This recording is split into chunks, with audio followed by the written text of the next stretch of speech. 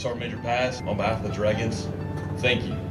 Thanks for your leadership, your inspiring example, and your ability to instill esprit de corps. The Dragons know that you led selflessly and always acted with the best interests of the Marines in your charge. You've always been an advocate for the young Marines. Please continue to do that in your next command. I can tell you, uh, uh, before coming over the squadron, I never realized on how busy is the flying squadron is. When I got here, I literally find out immediately on how hard work these Marines are, day in, day out. Dragons family, I'm gonna miss you. Thank you for your hard work and dedication, and looking forward to hear from you in the near future. To the Marines, Staff NCOs, the Marines here in the formation, hey, too easy.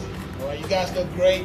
I look forward to working for, with, alongside each and every one of you. Simple diddles.